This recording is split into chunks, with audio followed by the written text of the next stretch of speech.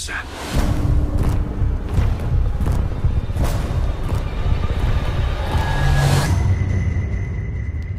There's a monster outside.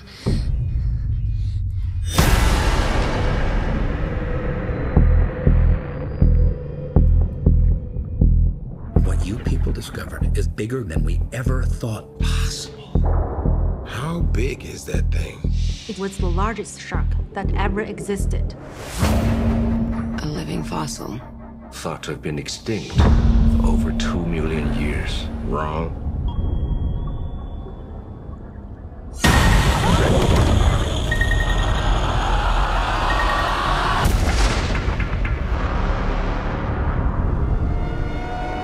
My God.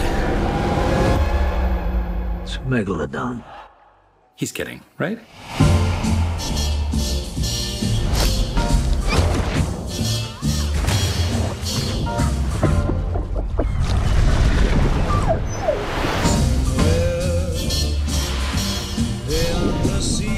Thing's out there.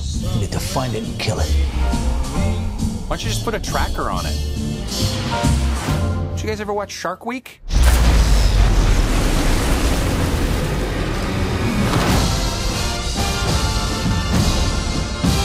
He looks heroic, but he's kind of got a negative attitude.